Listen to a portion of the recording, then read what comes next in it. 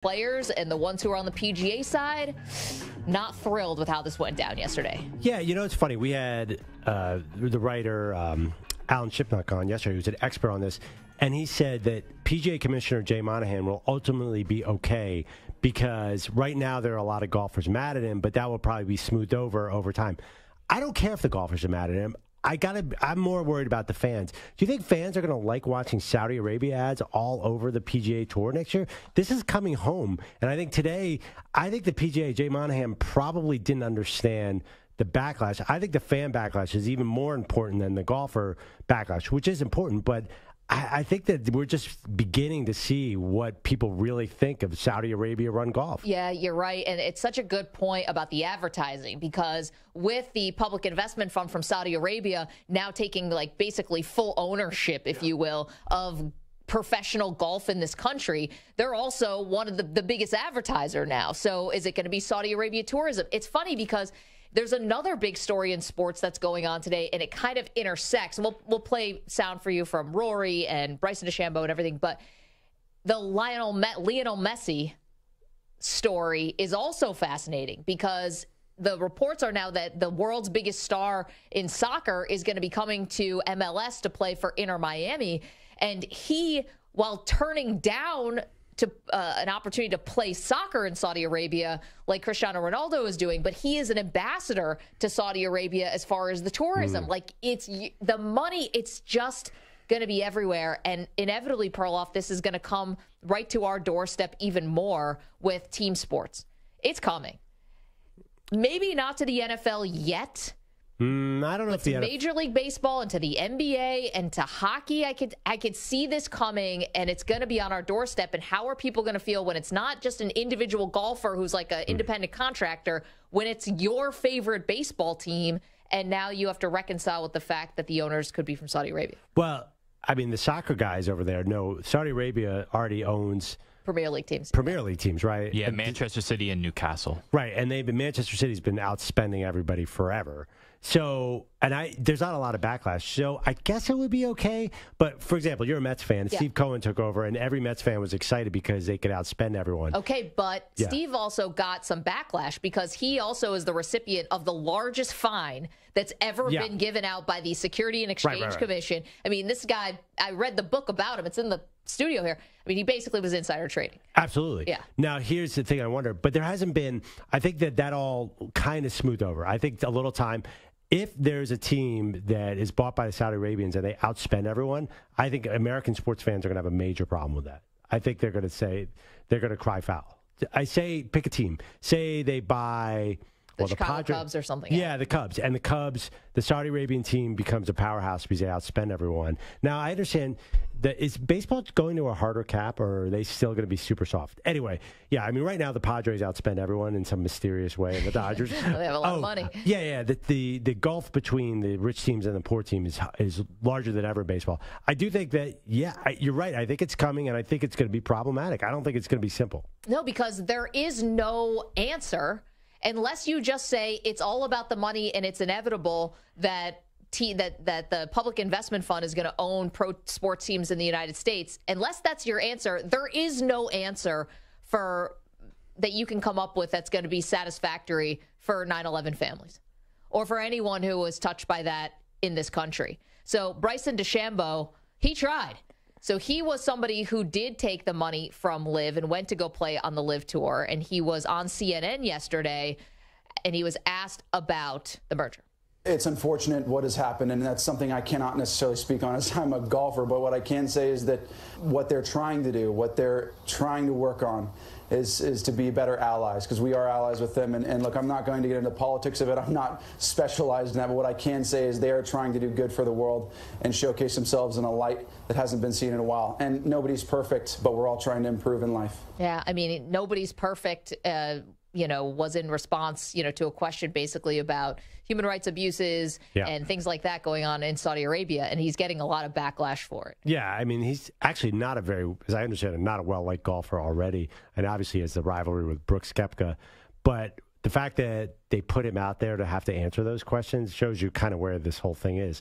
I don't think it's well thought out at all. I think it's sort of haphazard and kind of like if, if you ever watch a live broadcast, I, I've never really watched it live, but I I've seen. tuned into the first one out of pure curiosity. So if the actual product is that big of a mess, what's it like behind the scenes? Well, that was always the ridiculous part about Yeah. this is that LIV w- wasn't working. And No. They still were able to, you know, use it as a way to eventually take over golf in this country and the world because they now own the DP Tour and the European Yeah. Tour.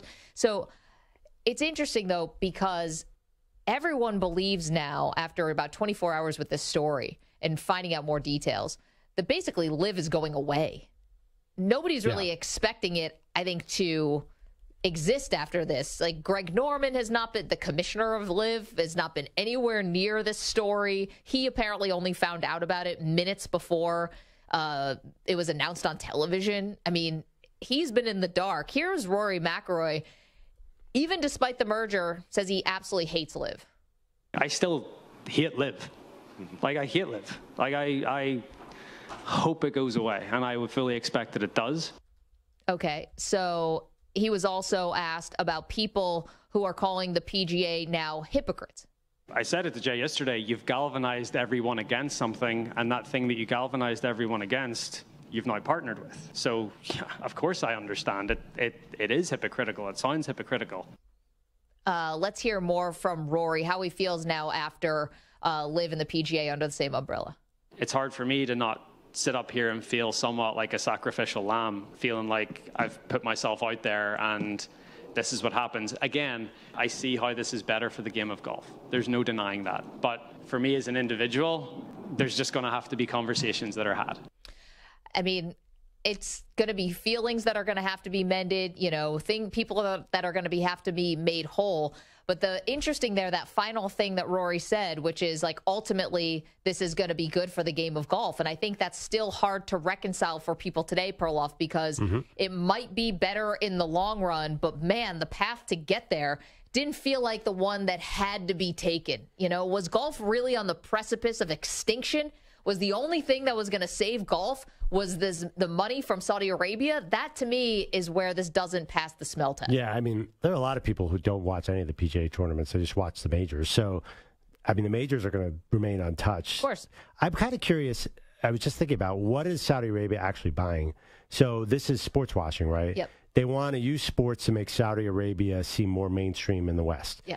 But if LIV goes away, then you just have the old PGA Tour with a lot of Saudi Arabia tourism commercials. And money and influence. But how do they influence it? I mean, like how on its surface, why why am I going to watch the um, I don't know the Valero Open and say Saudi oh Saudi Arabians aren't bad? Maybe I should go there on spring break. it, won't yeah. it just be the same tournament that I've always watched? Well, no, I think there are still going to be changes made, like the no cut tournaments, the smaller fields. I think those are gone. No, Well, they are trying. To, the PGA announced that they were um, they were going to make those changes as a response to LIV, but I think the idea was getting more stars on TV all the time, right? So no cuts, making sure the fields are smaller, all that stuff. Here's where, and this is why I say it's, this is going to be more, even more on our doorstep. I think in the rather near future, I would imagine, is because the like sports washing aspect to it what else does it do mm-hmm. like and what where what are the other tentacles obviously something big because i don't think it's just the country of saudi arabia woke up and was like you know what we love golf why don't we go buy the pga tour there's obviously a secondary or tertiary i don't say motive here like it's ne- necessarily nefarious but there's like another angle that has to exist here about getting in and mainstreaming Saudi Arabia in this country and doing it through sports. yeah, but I mean, Liv has been here for over a year. Do you feel? Do people feel differently about Saudi Arabia? I don't I don't know. I mean, there are a lot of people who are just resigned to saying, "All right, this is going to be good for Yeah. golf, so let's just you know, let's just Right. let it happen." But I'm not sure. You say you, obviously they're going to spend all this money. I, I don't know. They spent all this money on LIV, and it was a garbage product. So I don't know that it's so. Yes, you're right. They're going to spend all this money. I don't know that it's definitely going to work. I saw. I was looking at LIV articles today. I saw an article in Politico saying that LIV was a gigantic failure for Saudi Arabia. Definitely. But I think LIV was just the front door. It was just the appetizer. It was just the way to get in and Right. knowing that the end game was to take over the PGA Tour Right. and They- every other tour. They point out that public opinion in Saudi Arabia and America did not change at all with a year of LIV. Interesting. Uh, which I, I rings true to me. Like I don't know anybody who feels differently. Either you don't know about Saudi Arabia, you might generally have probably negative views of it. I don't know. This is yeah. We all say it's sports washing. Maybe it's going to take some time. Maybe I'm being naive. But just because, like, what is it? The Canada Open this week is going to have a bunch of Saudi Arabia tourism commercials. I'm not sure that's going to work on me. Well, I don't know. I mean, it seems has it been working in the Premier League where they've been owning teams for a lot longer? I mean, you got Ronaldo's playing there right now, and Messi is an ambassador for them and was just 50-50 on whether to play there or whether to play in Miami. Ultimately chose Miami, but or we think the reports are he's choosing Miami, but still is now an ambassador. It's like that's part Yeah. of it too. You get world famous. I don't know. Is Saudi Arabia popular in England? I, I'm not sure. Where do you get? Is Saudi Arabia tourism a thing? Do you remember during the World Cup watching the tourism uh, Yeah. videos for Qatar for Qatar? Yeah, yeah, yeah. I do remember that. I mean, I don't think they're doing those for the good, Yeah. for, you know, for their for their health. Like they're trying to mainstream more Yeah. of these Middle Eastern countries. yeah, I mean, listen, you know I'm a huge Sex and the City fan, right?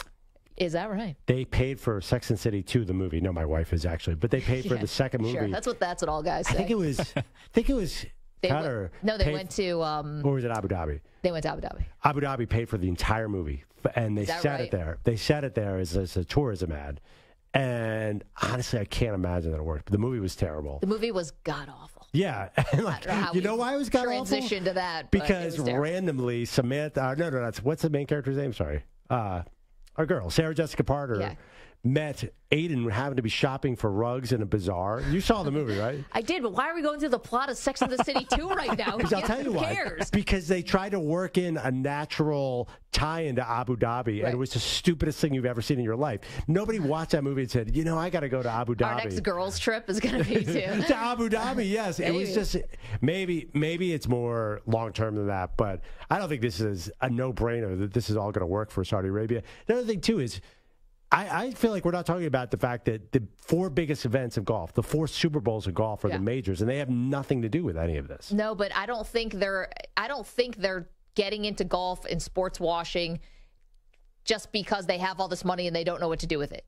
Clearly, there are bigger goals in mind here. Yeah, that's a it's sports washing. Yeah, right. So That's their goal. We all know it. They're Right. not hiding it. I know. So maybe it doesn't get you to go to Saudi Arabia on spring break, but there has to be. I don't think that is necessarily the end game, but there's got to be more to They- that's this. what they want. I know, and it might not work on you, but it might work on someone else. Maybe go Yeah. Sex in the City two didn't work on you, but maybe there was a girls No, trip. you, you're absolutely right. Uh, it's not going to work Abu on me. Dhabi. But I do wonder today. You know, what's the backlash going to be?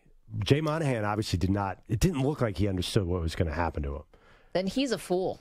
Well, I mean, listen, like there He's were behaving like a there were fool. I don't get strong headlines. There were strong headlines against him yesterday, and I think this is just beginning. I, I don't even think he survives this. I mean, he's going to be a joke. But I, He's man, already. A, I mean, he's already a joke. He, Right, he and I don't think acknowledged go yesterday. away. I, I know this comes off as hypocritical. It's like, yeah, and it's not just a small thing. You know, this isn't like oh, I became hypocritical because you know I I said I I don't even know Yeah. what a smaller example would be, but this one is emotional. It, you intentionally tugged on people's heartstrings. I mean, it's deplorable. Yeah, I think corporations aren't dumb. They're going to distance themselves from this guy at some point because why would you say you're a huge advertiser like AT and T? You brought Jay Monahan to an event. You have to know there are going to be people there who are going to be very upset with him. And Yeah, rightfully so. Like AT and T doesn't want that. They want none of that. So I think he's going to be. To- I don't think he even realizes now. I think he's going to be toxic.